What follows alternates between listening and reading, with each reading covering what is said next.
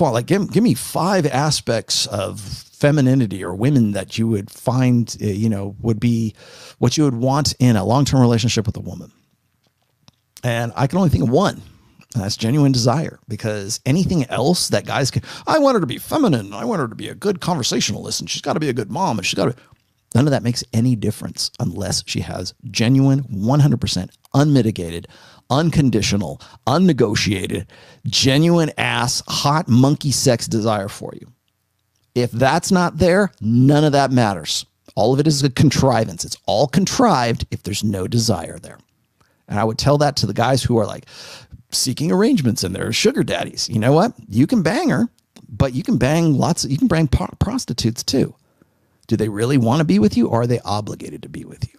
Is she a ride or die girl? Okay. Well, is she a ride or die girl when the stock market crashes and you don't have any money?